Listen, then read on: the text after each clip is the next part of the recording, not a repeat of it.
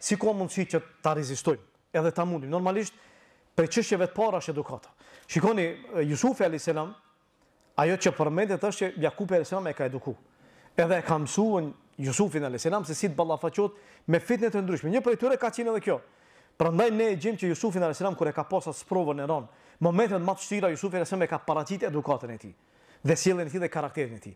Kjo do të thotë që fëmija duhet që të edukohet qysh prej fëmijërisë, që çështja e Kjo pikërisht kjo çështja e joshjes me gratë të jetë prej gjërave që duhet t'i ketë parasysh në jetën e tij. E sjellin ulemat një shembull me një fëmijë i cili ka qenë pesë vjeçar dhe është bë hafëz. Hafëz edhe hafëz i fortë. Thuhet për të që kur e kanë marrë e kanë komisioni e kanë e kanë testu nuk ka pas faqe e cila E kanë e kanë shfletu veç e ka dit. E kanë pyet prindin e tij se si arrite për me eduku fëmijën që me arrit deri në këtë gradë. Ai thoshte që nëna e tij prej kur ka qenë fëmija në bark i ka lëshu non stop Kuran. Pas edhe pasi që ka lind, herën e parë që ka fillu që të merret me lodra, edhe paraprakisht prej asaj, pra do të thotë para asaj ka qenë çështja që nëna e tij në vazhdimësi ka lëshu Kuran shtëpinë e shtëpinë e saj, ka dëgju fëmija thotë kur ka fillu me lodra që që që luje fëmija, Dhomën ku e kanë bo të veçantë për lodrat e tij ka lëshu Kuran. Edhe ka lujt po dhe Kuran. Kjo është mësim se te na nganjëherë prindërit thonë jo më e mira, jo fëmija mos luje, jo, le të luje nuk ka problem. Se ai fëmija i ka nevojat e vet, ai ka natyrën e vet. Edhe ama ja ka lëshu Kuranin, vazhdimsi. Kuran, Kuran, Kuran, Kuran, Kuran, ka dëgju veshi i tij. Ju ka mësu veshi me Kuran. Ja ka qetsu shpirtin edhe ka ardh koha ku ai person ma vonë nuk e ka pas problem mësimin e Kuranit. E kur i ka pas Kur ka qenë pesë vjeçar është ba hafëz. Edhe hafëz i fortë. E kështu është fëmija, ashtu si kalitet, ashtu jeton. Prandaj, prandaj do të thotë Jusufi a.s. Ka thonë, kale rabbi es sixhnu ehabbu ilejje, mimma jed'uneni, mimma jed'uneni ilejhi. Ka thonë, o Zot, burgu për mua është ma i dashur se sa ajo që më thërrasin ato. E në këtë rast, pse e ka thonë këtë? Normalisht edukata. Friga prej Allahut azza wa jall. Pra një prej atyre, që do të jetë nën hijen e Arshit të Allahut azza wa jall, Ditën e Kiametit është një person që e thërret një grua me pushtet dhe me bukuri. Shiko se tash ka mundësi me t'thirr një grua, mirëpo nuk të pëlqen, nuk është e bukur edhe i thu, shumë lehtë i thu, jo, s'du, nuk du që të afrohem. Ama ka qenë një, bu, një grua e cila t'josh, e cila të mahnit edhe i thotë jo, kam frikë Allahun. E të jesh nën hijen e arshit të Allahut azze ue xhel nuk është e lehtë. Përmendet për përmendet për një grua në Mekë, një grua në Mekë e cila ka qenë e bukur është prej rasteve të vërteta. Rasti i Ubejd ibn Umejr ka qenë një prej asket asketëve të mëdhenj të selefit. E ka pas një sprov Një sprovë të rëndë, shikoni se si është ballafaquar me këtë. Thuhet për atë grua e cila ka qenë prej të bukurave të Mekës, thuhet që një ditë prej ditëve i ka thënë burrit vet, a po a po ma sheh bukurinë? Ka thënë po.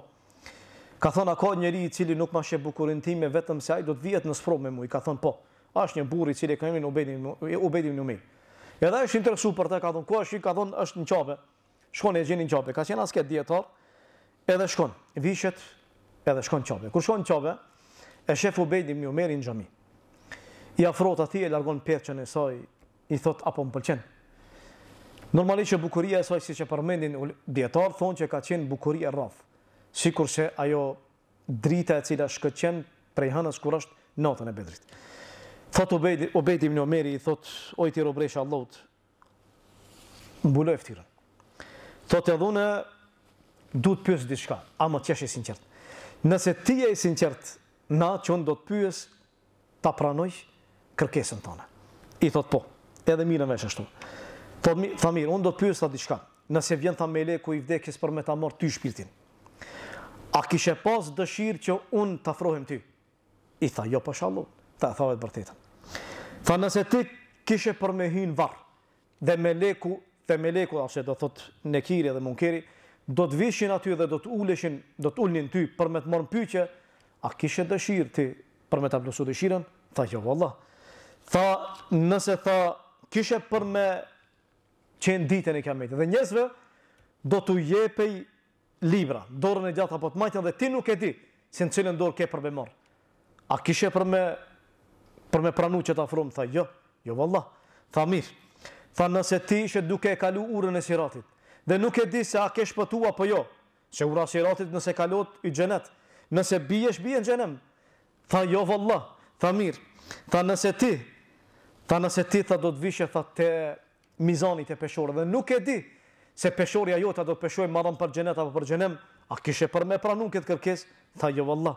Atëherë tha ki frikë Allahun oj robëreshë e Allahut. Dhe mbuloje fytyrën tënde dhe atë këtë bukuri ruaje për burrin tënd. E mos ja shpalos askujt. E thuhet që kjo grua u kthye në shtëpinë e saj.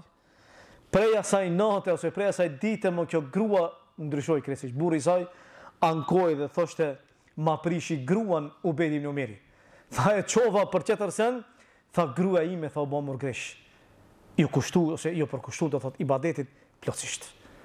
A po e shihni se një fjalë ka pas mundësi që ta ndryshojë çështjen, çështjen do thotë e njeriut. Sidoqoftë ulema thonë, nëse mahnitesh me një grua, kujtoji gjërat që dalin prej trupit të saj, qëllimi është prej fëlliqsirave.